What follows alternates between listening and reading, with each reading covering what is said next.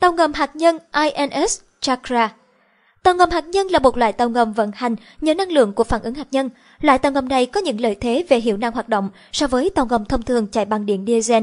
Nhờ có sự đẩy hạt nhân mà loại tàu này không còn phụ thuộc vào sự đẩy không khí.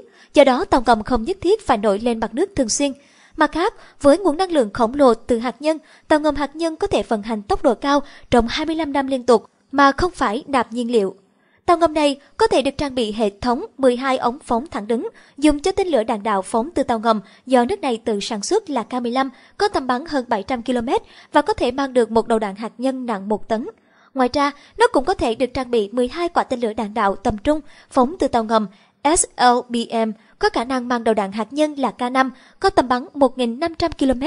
Tàu ngầm hạt nhân chiến lược INS Chakra trang bị 36 ngư lôi chống ngầm và tên lửa chống tàu Club, tiếng ồn cực kỳ nhỏ tới mức hầu như không có, mang theo thủy thủ đoàn 80 người.